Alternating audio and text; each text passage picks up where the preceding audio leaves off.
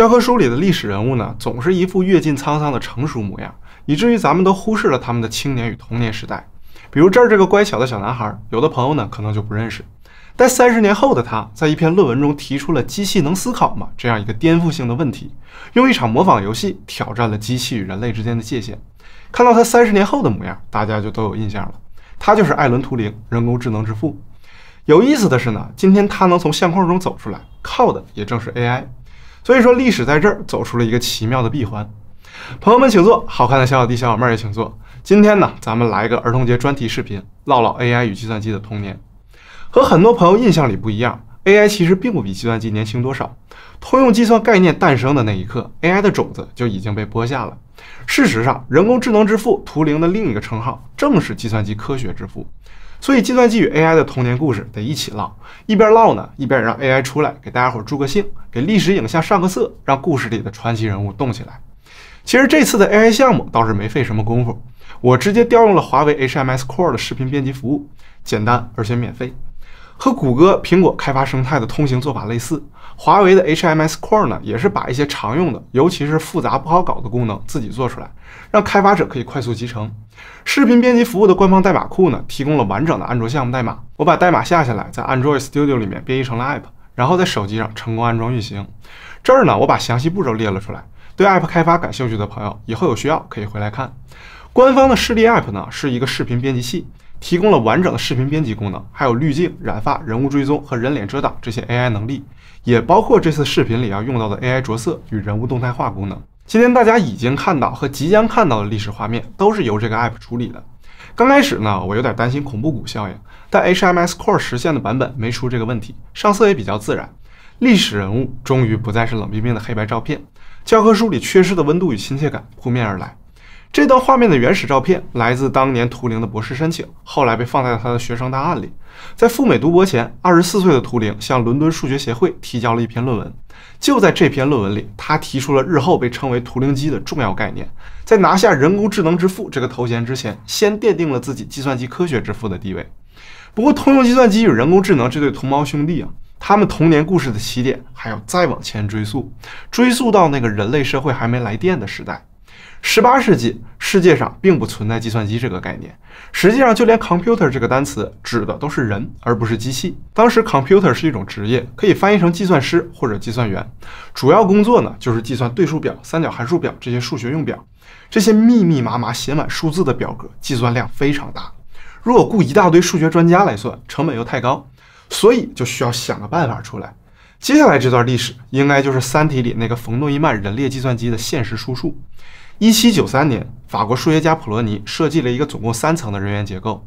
第一层，三到四位数学家确定数学用表的计算方法；第二层，六名分析师把计算任务拆分成最基础的加减法运算；第三层呢，则是由近百位只懂加减法的计算员把数算出来。这些人呢，大部分是失业的理发师。法国大革命之后呢，不少旧贵族连头都没了，也就不需要剪头了。这时候，有的朋友可能已经发现了这套人员结构与现代计算机的对应关系。第一层的数学家其实就是在写代码，第二层可以理解为是在编译，第三层的计算员呢，则是在进行实际运算。这不就是一个经典的计算机程序吗？但这个十八世纪的故事里呢，只有计算员，没有计算机。那问题就来了，一群人类计算员组织在一起，怎么就跑起来计算机程序了呢？这是今天的关键问题，触及了计算机与人工智能的本质。不过后面再说，先把这个起源故事讲完。普罗尼设计的三层结构，把只懂加减法的计算员组织了起来，让他们也能完成数学家才能做的工作，但效率并不高。假如我算到一半需要另一个人的结果，就得等他把数值念给我听或者写给我看之后，才能继续往下进行，不仅慢，还容易出错。另外，那个时期的法国呢，存在严重的通胀问题，项目的资金压力也比较大。所以，普罗尼的完整数学用表最终并没有成功问世。但这套把外行组织起来解决专业复杂问题的方案，却启发了不少人。它证明了一件事儿：复杂事物可以由简单个体融合而成。这话一出来呢，就跟一句正确的废话似的。但无论计算机还是人工智能，都是建立在这个浅显的道理之上，一步步向下发展。一八一二年，二十一岁的查尔斯·巴贝奇坐在剑桥大学自己的房间里看书，发现书上的对数表错误百出。于是呢，就有了用机械替代人工来计算数学用表的大胆想法。二十一世纪的朋友们呢，可能觉得这有啥大胆的？正经人谁拿手摁算对数啊？但回到十九世纪初，当时的算盘和帕斯卡机说白了都只是计数器。莱布尼茨机呢，虽然支持四则运算，但在对数和三角函数面前，那真就是个弟弟。此时，巴贝奇的信心正是来自普罗尼的三层计算员结构。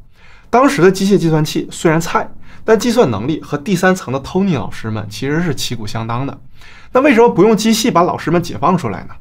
巴贝奇设计了一种叫做差分机的机器，可以理解为是把第二层分析师拆解好的指令刻进了机械结构里。一个实际例子是咱们小时候玩的音乐盒，盒子里面呢有一个金属转轮，转轮上有一大堆小凸起，转到对应位置就会拨动金属片发声。不过巴贝奇的思路到这儿并没有停下来，现在差分机成功解放了三层计算员结构里第三层的人类，但这台机器在第二层完全没有灵活性。如果换个任务，比如说算算圆周率的第一千位，整个机械结构都要重改。于是巴贝奇又开始着手赋予机器灵活性。一八三三年，他开始设计一种叫做分析机的机器。当时的纺织工业很发达，织布机利用打孔卡片可以织出极为复杂的图案，换一组新卡片就可以织出一套新图案。受此启发呢，巴贝奇想到了用打孔卡片来向机器输入数据与指令。如果问题变了，制作一组新的卡片就行了。虽然没有电流通过，但这是一台真正意义上的通用计算机，奠定了巴贝奇计算机之父的地位。不过，对这台机器着迷的并不止他一个人。分析机的设计开始之后不久，有位十八岁的聪慧少女从巴贝奇这儿得知了这个项目。她就是埃达·洛夫莱斯，英国诗人拜伦的女儿。在多年的交流中呢，埃达深刻理解了分析机的工作原理。在一篇翻译稿中呢，他为分析机设计了一套计算伯努利数的算法，写在了附录 G 里。因为留下了这段清晰优雅的计算程序，埃达呢常被后人称为第一位程序员。所以说，程序员的起点并不是格子衬衫与方脱洗发水，而是美丽、知性与优雅。一个词儿，上流。相比起巴贝奇专注于让分析机进行数值计算，埃达对这台机器呢有着更大的愿景。他认为分析机可以完成人类能用清晰指令说明的任何任务。然而，他俩都没有意识到的是，他们所热爱的这台机器已经具备了孕育智能的基础。但这一点就要等到一百年后，由另一位传奇人物来发现了。需要等这么久的原因也很让人遗憾。巴贝奇与埃达那个时代的金属加工工艺呢，满足不了分析机的精度要求。作为一项未能落地的设计，这台机器并没有得到应有的重视。实际上，在上世纪四十年代，研究人员设计建造通用计算机埃尼亚克的时候呢，分析机的理论成果又被重新发明了一遍，额外花了大把时间。不过不管咋说，计算机与 AI 的童年故事到埃尼亚克这个时代算是又续上了。然而，虽然在教科书上很有名。但埃尼亚克并不是第一台真正意义上的现代计算机，这儿还差一个关键人物，就是冯诺依曼。这人呢，真是个天才，小时候让爸妈拉出来表演背电话号码本那种，才二十三岁就念了三所大学，拿到了化学学位和数学博士学位。不过他也有没干成的事儿，而这件事儿就是计算机与 AI 童年故事下半场的开场，也是今天的重点。有意思的是呢，它并不是发生在工程与技术领域，而是纯数学。一九二六年，冯诺依曼拿着洛克菲勒基金会的奖学金，去德国哥廷根大学，跟着当时的数学泰斗大卫希尔伯特学习数学。当时，希尔伯特提出了一个计划，希望通过证明数学的完备性、一致性与可判定性，为数学建立起一个坚实的底座。冯诺依曼这种天才，当然喜欢有挑战性的问题。结果，他日思夜想，出人意料的失败了。一九三一年，数学家哥德尔证明并发表了波恩贝定理，否定了希尔伯特计划的前两条。也就是数学的完备性与一致性，给冯诺依曼的困惑画上了大半个句号。而对三大猜想的最后一击，对可判定性的否定，则来自今天的另一个主角图灵。这事儿奇就奇在呢，这场纯数学的思想实验，意外地奠定了计算机与 AI 的理论基础。前面提到，图灵在一篇1936年提交的论文里，构想了一台抽象的计算机器，也就是今天大名鼎鼎的图灵机。这台想象中的机器分两部分。下面是一条无限长的纸带，有一个个可以记录二进制零和一的小格子。纸带上面呢，则是一个可以移动的机器装置，能存储无限多的指令。机器跟随指示，一边移动一边增加、删除或是修改数字。前面咱们说，埃达·洛夫莱斯比巴贝奇在理念上更进了一步，认为只要是可以用逻辑指令清晰写出来的任务，分析机都可以完成。比如给这个视频点赞、投币、收藏，你的设备一键就可以完成。不信你可以试一试。图灵在论文里证明了埃达的观点，那么重点就来了。咱们知道数学证明也是一步一步的，而且基本逻辑是有限的。如果我想找到一个命题的证明，一个很奢侈的方法就是呢，我写一个程序，让图灵机把所有可能存在的数学证明过程都生成出来跑一遍。假如发现某个过程成功证明了我想证的命题，就让程序终止，把找到的证明过程写下来给我。这个方法呢很粗暴，但是很好用，也很好理解。而且最有意思的是呢，他找到了衡量数学可判定性的方法。想知道一个命题能不能被证明，我就把这个败家程序的终止条件改成是找到这个新命题的证明过程，看这个新程序能不能成功终止。假如数学具备可判定性，那就应该存在一个程序，可以判断任何程序是会终止还是会无限运行下去。就在这儿，图灵找到了破绽。假如真有这么个贼猛的程序，它的输入呢是任意一个程序，输出是会终止或者不会终止，那不用管它是怎么写出来的。咱们现在就叫它判定程序，然后咱们给它屁股后面加一段逻辑。如果判定程序输出的是会终止，咱们就接一个无限循环，比如 while true。如果判定程序输出的是不会终止，咱们就接一个终止指令，直接 return 返回。这个续写出来的新程序，为了跟前面那个做一个区别，咱们呢叫它大屁股判定程序。这个新程序怎么来的？大家懂了吧？现在有意思的地方来了。假如我把大屁股判定程序这个程序做一个输入，送进另一个大屁股判定程序里面，跑起来之后呢，我再把这个套娃送进原来那个贼猛的判定程序里，它会给出什么结果呢？我告诉你，大的要来了！现在这个大屁股判定程序里面有一个判定程序，外面呢也有一个判定程序，它的输入则是另一个大屁股判定程序。假如里面的判定程序认为大屁股可以终止，后面呢就会跟一个咱们写的无限循环。外面的判定程序就会认为这个大屁股判定程序无法终止。反过来呢，假如里面的判定程序认为大屁股判定程序不会终止，把判断结果输出之后呢，接下来跟的就是咱们的终止指令。所以对外面的判定程序来说，大屁股是可以成功终止的。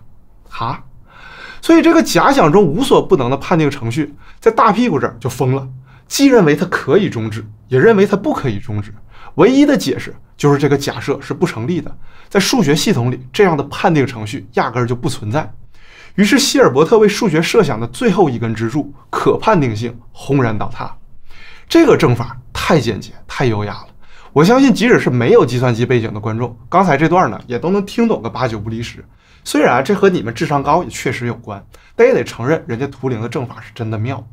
一九三六年秋天，图灵凭着这个优雅的大屁股，从剑桥来到了普林斯顿大学高等研究院。几位有趣的灵魂聚到了一起，计算机与 AI 的快速发育期正式到来。图灵的办公室对面就是冯诺依曼的办公室，冯诺依曼隔壁坐着爱因斯坦。这三个人除了冯诺依曼以外呢，都不太擅长社交。不过后两个人之间有段珍贵回忆，来自梅里尔·弗勒德，囚徒困境的提出者。根据他的回忆呢，有一次爱因斯坦要去纽约。冯诺依曼主动提出要开车送他去火车站，结果呢，故意把爱因斯坦送上了开往反方向上的火车，也不知道动机是啥，搞相对论是吧？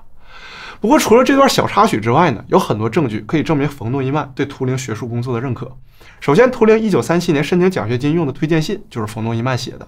1938年，图灵毕业前，冯诺依曼还邀请图灵做自己的研究助理。后来夏天去欧洲旅行的时候呢？冯诺依曼和同伴消磨时间的游戏，就是挑战谁能先把一个随机数用前面那个图灵机模型定义出来。从后来著名的冯诺依曼结构上呢，也能看到图灵理论的影子。图灵机有两个特点，一是采用二进制，另一个呢是程序和数据都存在机器上。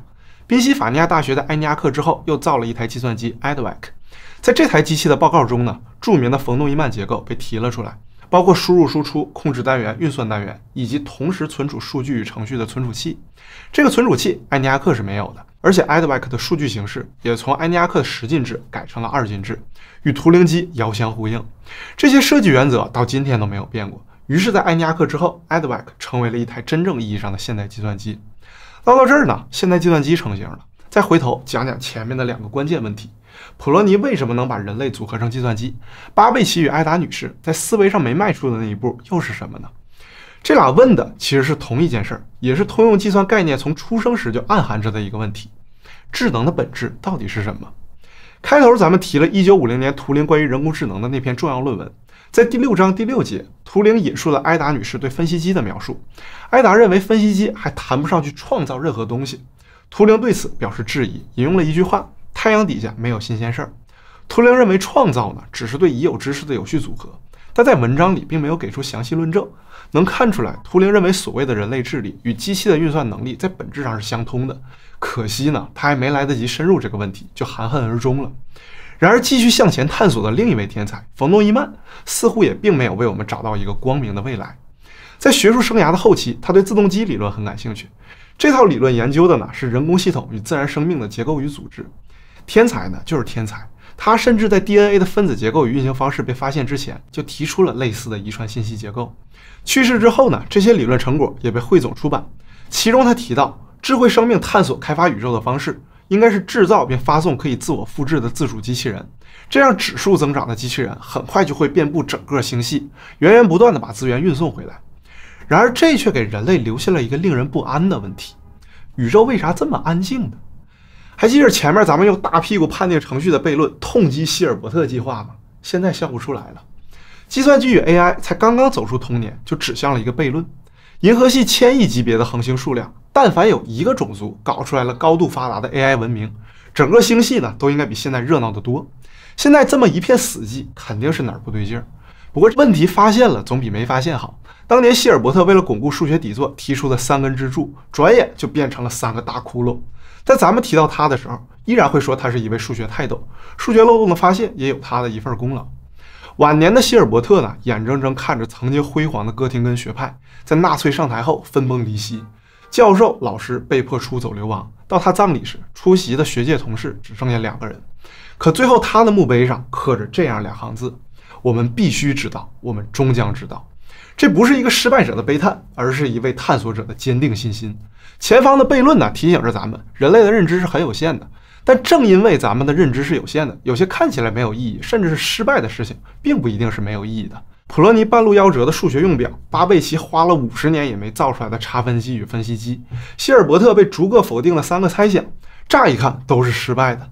但就是这些失败，引出了后来的图灵机理论、冯诺依曼结构，把人类送入了信息时代。虽然有悖论在前面杵着，但在一代又一代人的努力下呢，通用计算设备从庞大难用的沉重机器，变成了今天人手一台甚至多台的日常工具。包括你正在看视频的这台人工智能呢，也从实验室中的复杂密保，发展成了普通人也可以简单拿来用的基础服务。比如今天这个视频里用来恢复历史原貌的 HMS Core 开放能力，这些改变呢是实实在在的。